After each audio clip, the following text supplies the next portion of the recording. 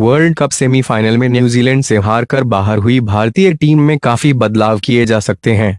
भारतीय cricket control board BCCI के एक अधिकारी के मुताबिक, विराट कोहली से वनडे और टी डट की कप्तानी लेकर रोहित शर्मा को दी जा सकती है। कोहली टेस्ट के कप्तान बने रह सकते हैं। समीक्षा के बाद टीम में और भी कई बड़े बदलाव किए जा सकते हैं। अधिकारी के मुताबिक, टीम को बेहतर बनाने के लिए बदलाव की प्रक्रिया जल्द ही शुरू की जाएगी। अधिकारी ने कहा, यह सही समय है कि रोहित शर्मा 50 ओवर फॉर्मेट की कप्तानी संभालें और इसके लिए मानसिक रूप से भी तैयार रहें। इसके लिए वर्तमान कप्तान और टीम प्रबंधन को भी समर्थन करना चाहिए। उन्होंने वर्तमान कप्तान विराट और उप कप्तान रोहित के बीच विवाद की अफवाहों को नकार दिया। कप्तानी के लिए रोहित सबसे अच्छा विकल्प, उन्होंने कहा, अब समय पुरानी चीज़ों पर बात करने का नहीं, बल्कि आगे की तैयारियों का है। यही समय है कि हमें अब अगले वर्ल्ड कप की तैयारी शुरू कर देनी चाहिए।